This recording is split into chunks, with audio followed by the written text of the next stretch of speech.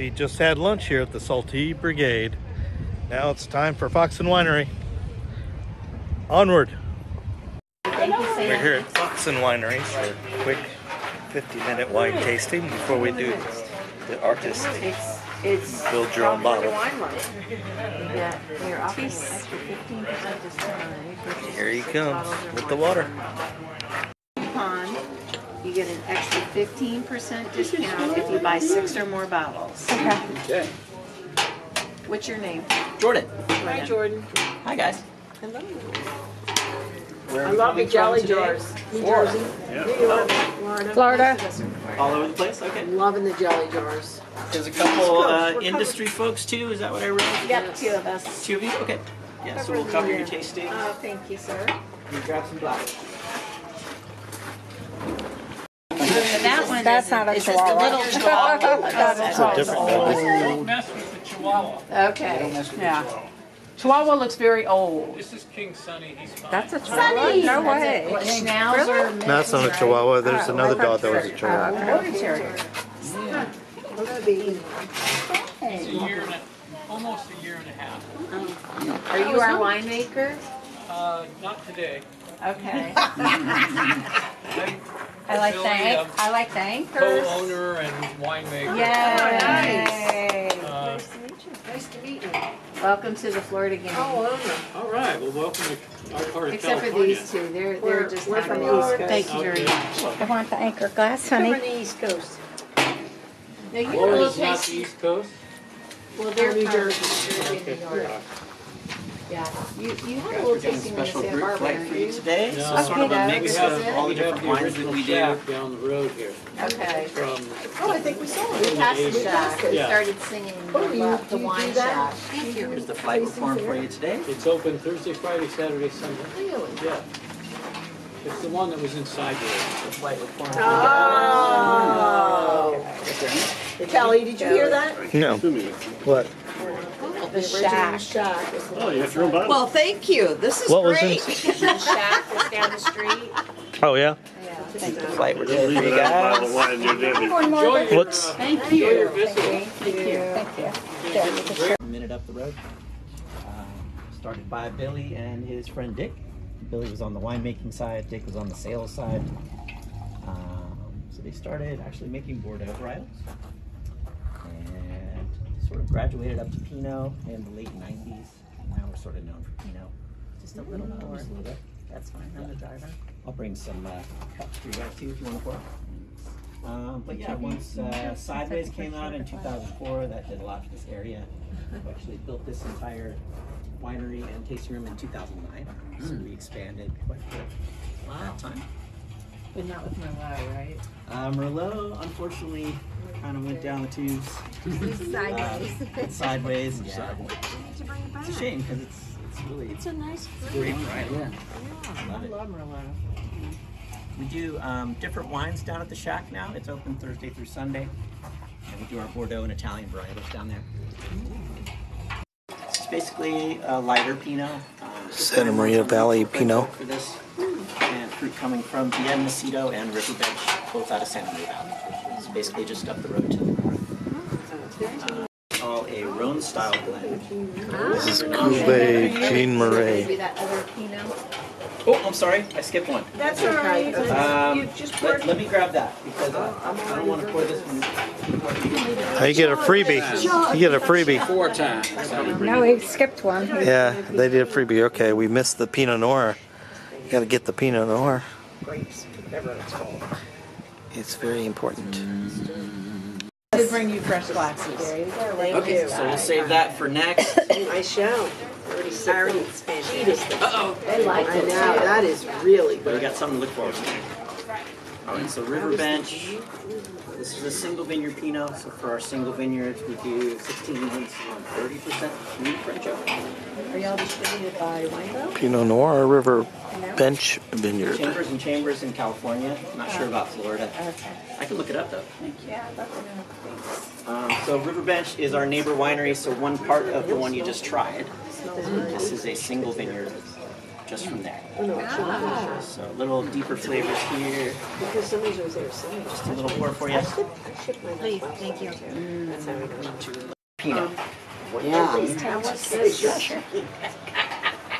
Did you get a pour of this one yet, or are you still Yes, working sir. on the last That- one? That's your, the one you This just is the poured. one? Okay. Yes, sir. No, this is, this is just. Okay, here we Not quite high enough Yeah. Okay. But I like the taste. God, you I should. And, well, gum, um, what is it? What's the, what is the word? Because it does smell like. Computer video? We got another one uh, this year at, uh, what was it? About two-thirds Grenache to one-third Mourvedre. Jo- Um, Coughlin? The- With the Coughlin, uh, Coughlin does a big one. Yeah. this was a Coughlin. guys like that last one? Yes, that was mine. really Yeah. A little more depth of flavor there from the previous one, So it right? was a, Yes. sea- the old sea turtle. It's really good. This one should be quite a bit heavier. One ocean. Definitely getting into the heavier Too reds with nice. It was this. really nice. They, yeah, they do It a really really big nice. job. I don't have that kind of money or publicity. That's, so. yes. Or the. Yeah, I was in Scranton, Pennsylvania, so. In Scranton, Again, and they're the ones who, you play softball, all softball Yeah. players are gay. I go, that is not true. Doing, uh, what did we just agree to buy here? This one, two of these, Two two Chardonnays these. and two Pinots from Foxen. Yeah. And it's gonna be a case shipped to Gene. We're here right in time. The last full flight is at 3:45. All right.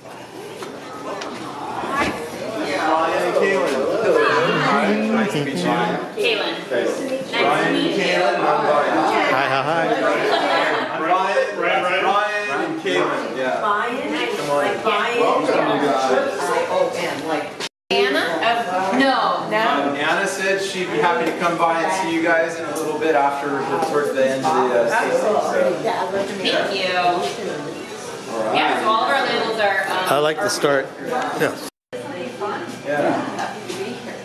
I'm a third generation winemaker. Uh, my great grandfather grew grapes for Inglenook back in the 1880s, 1890s, early 1900s before Takes me. Prohibition, yeah.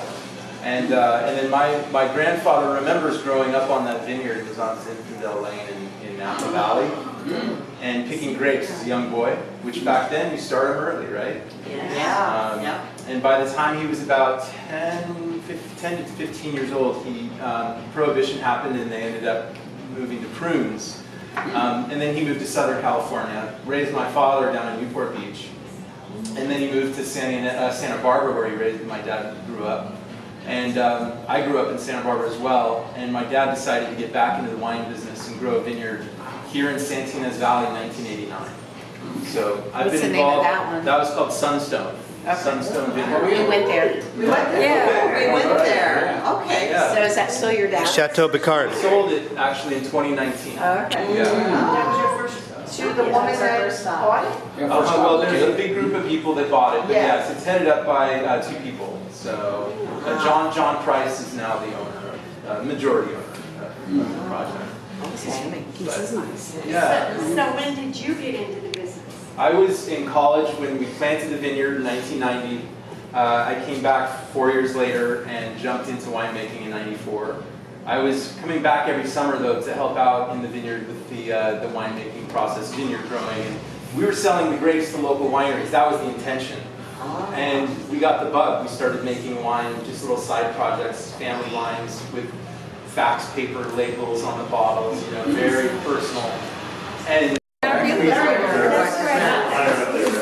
Oh, yeah. Good, good. That's what we want you to be a little uncomfortable. I am but- uncomfortable. But not scared. Yeah. Um, all right, I'm going to give you a little story about the blending, the art of blending. Um, so if you go to Europe, most of you have probably been to Europe. You've been to Bordeaux, south of France, Spain, Italy. Most of the wines are blends, right?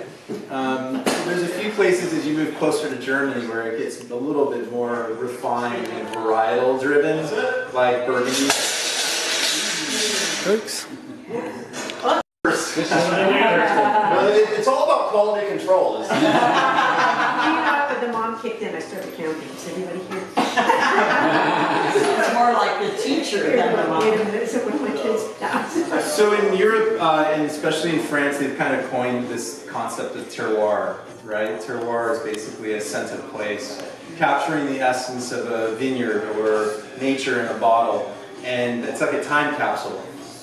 The grapes every year are a little bit different. The environment, the soils, the rain, et cetera, et cetera. So every vintage has a unique taste, a different flavor.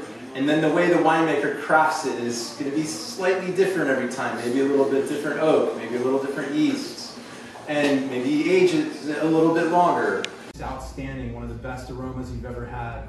Uh, one, you might like the aroma, but the mouth feels like, ew, it's gritty, it's, you know, it'll give that a one.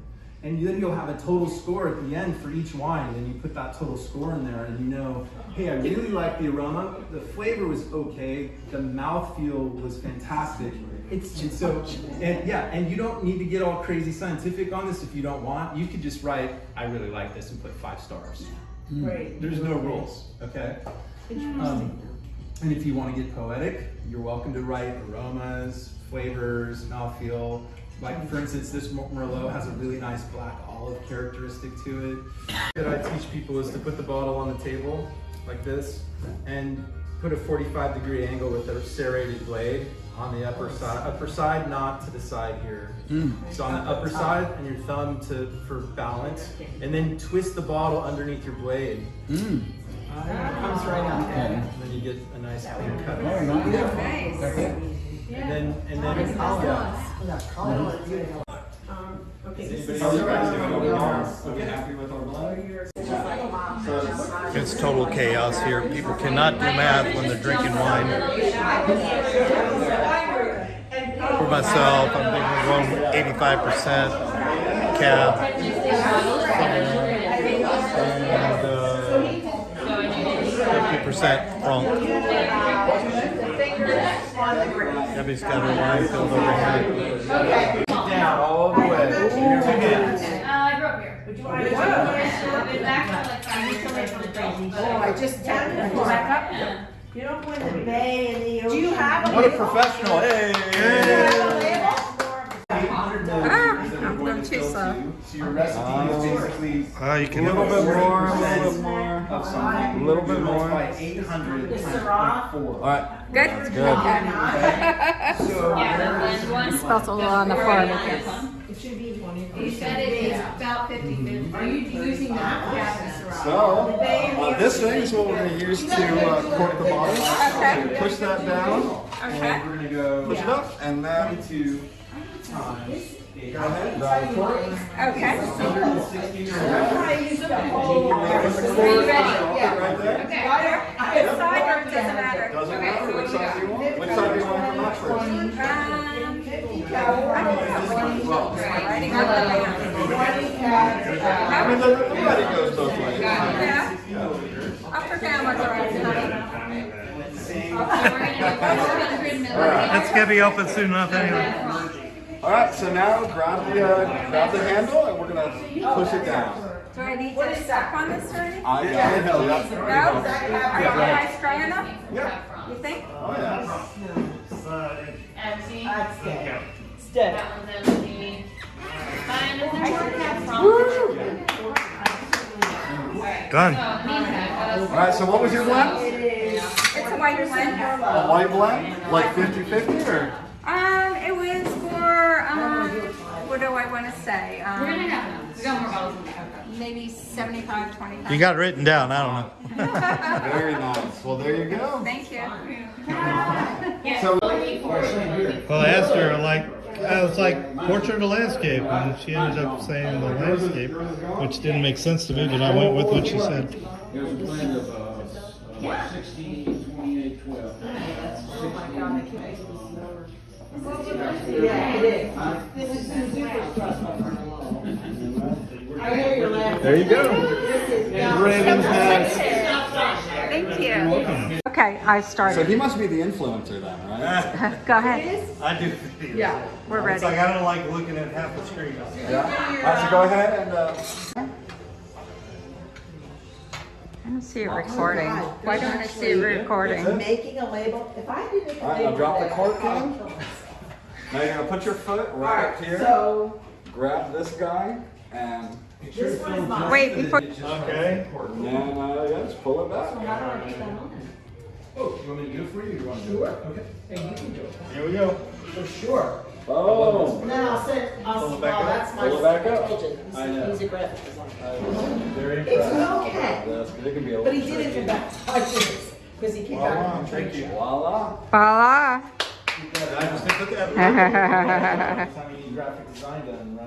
There you go. Now you need. Skill at all. What, el- what else have I waxed? Yeah, yeah. Uh, Maybe some quack stories going on. Oh yeah, there's been many burn victims in our heritage. I bet. I'm like, That's Marshall, that's no calm joke, down now, right? man. 400 degrees. That's waxing. no What are you talking about? So what do you do? Just now He, at night, and he you just totally like, unplug nope, nope. Oh yeah. Or do you Like, didn't even blush. It No, right, nothing but then that. you just Yeah, we Plug fired up two hours thing? before you guys came. So there you go. And then you just dry it off so it doesn't get on your label. There you go. Voila, thank you. Voila. So what do you recommend? The sunset is passing between our two legs. Wine label. Oh, that is on the wine label. We couldn't, we couldn't Figure out how to do on the graphics. Well, I'm a uh, baby boomer.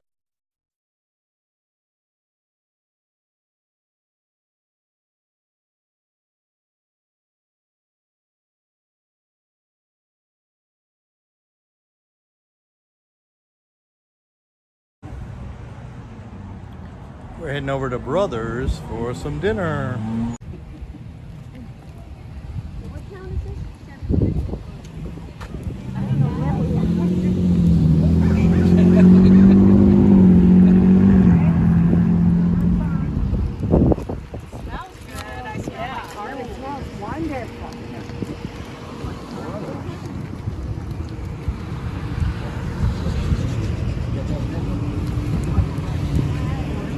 Fire, charcoal.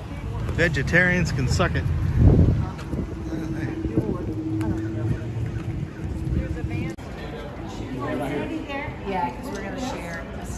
We're here in the Red Barn, Brothers Red Barn. Alright, we're all good. Is that everybody? Yeah, yeah. Oh my God, cheers. I have no. I've been George Murray doing Sorrel.